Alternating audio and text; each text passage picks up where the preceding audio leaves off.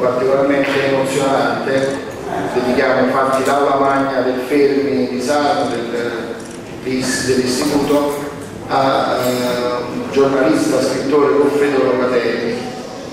Um, giusto due parole perché diciamo,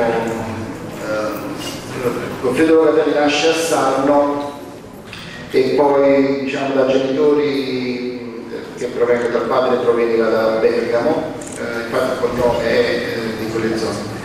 E poi praticamente sposa subito, il, cioè subito gli nasce la passione e l'amore per il giornalismo. E infatti già a Sarno si inventa l'Espresso del Sud, un giornale con cui praticamente fa, si farà notare a livello nazionale con numerose inchieste anche eh, sulla, diciamo, sulla, classe operaia, sulla classe eh, contadina.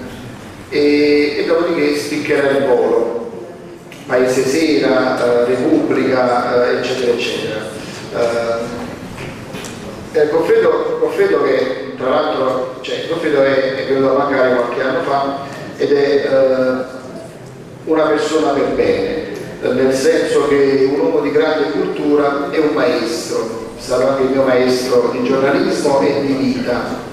E dico questo perché oggi c'è carenza di maestri di vita, nel senso che spesso non ci sono tante persone disposte a perdere il proprio tempo per insegnare agli altri, no? E, e comunque eh, avergli dedicato un luogo di cultura come il nostro istituto è, è un grande segno proprio del, del, del, diciamo del, appunto del suo passaggio, del suo passaggio che l'avevo sentito poco tempo fa e scherzando dissi come state? Lui mi, scrisse sto male, sto, sto, morendo, ovviamente era molto ironico, era rigido, rigido e, te, tenero allo stesso tempo. E praticamente io gli dissi, ma voi dovete campare cent'anni, lui dissi io sono immortale perché vengo da lontano e e quindi anche questo è un momento diciamo, di, della vita eh, di Goffredo. Passo la parola al preside Antonio Di Riso preside del genere scolastico del nostro istituto. Grazie.